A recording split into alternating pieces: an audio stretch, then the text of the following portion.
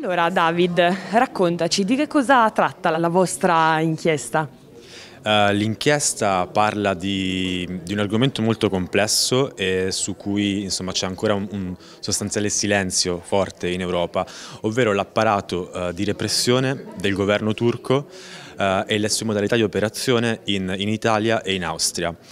è complesso perché è un sistema capace di adattarsi alle situazioni e ai contesti che si trova di fronte.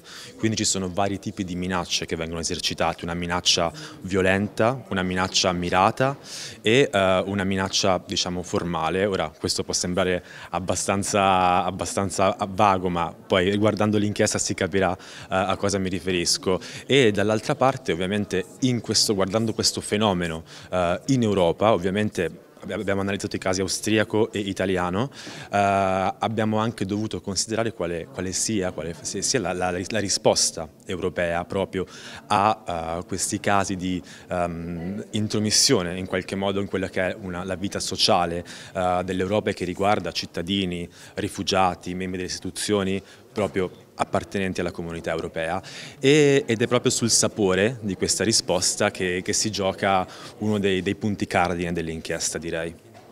Tobia, uh, Tobias, so, uh, Tobias, raccontaci, come è nata l'idea della vostra inchiesta? Quali sono stati gli elementi che vi hanno fatto incuriosire le dinamiche che raccontate nel vostro lavoro? Come è nata questa idea? Ho conosciuto David grazie ai miei studi, ci siamo ritrovati tutti e due a studiare scienze politiche e siamo sempre stati tutti e due interessati al Medio Oriente. Un giorno, durante il picco della crisi pandemica del coronavirus, abbiamo fatto una call e mi ha raccontato del primo Morione.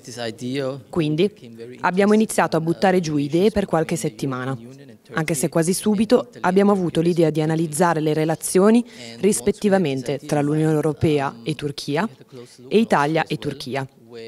E una volta avuta quest'idea, abbiamo guardato più da vicino anche l'Austria, dove il fatto che i nazionalisti turchi minacciano gli oppositori politici turchi e le minoranze etniche come i curdi è un problema ormai da anni, mentre in Italia è raccontato abbastanza poco dai media. La nostra idea è stata dunque di focalizzarci su questo tema ed ecco che questo è stato l'inizio della nostra ricerca. Arianna, eh, raccontaci invece come è stato lavorare tutti insieme, come è stato lavorare anche affiancati dalla vostra tutor Laura Silvia Battaglia, quali difficoltà, quali punti di forza? Lavorare insieme in definitiva è stata un'esperienza sotto tutti i fronti, perché ci siamo dovuti avvicendare nelle faccende e perché eravamo tutti alla prima esperienza, quindi l'abbiamo presa proprio come una vera e propria sfida. Il, um, L'aiuto di Laura si è rivelato fondamentale perché eh, ci ha sempre dato dei consigli molto utili, estremamente intelligenti e puntuali. È stata sicuramente un'esperienza che ci ha fatto crescere tantissimo.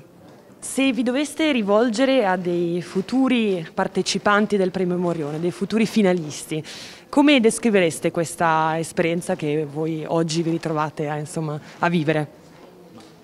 Posso dire che è un'esperienza da cui c'è da aspettarsi veramente tanto lavoro, tanta fatica, ma una gratificazione immensa perché eh, il premio Morione permette una grandissima libertà, una libertà di espressione e credo apprezzi uh, il coraggio e la, e la, e la, e la determinazione a, a dosare anche in, affrontando temi molto scomodi che forse tanti altri contesti riterrebbero eccessivi e inappropriati e anche insomma, perché offre una, un, un, un, team, un team fortissimo, un team di tutor molto forte, noi siamo stati veramente fortunati con, con Laura Silvia Battaglia, quindi le ragioni per farlo sono, sono assolutamente tante, una grande sfida ma ne vale la pena.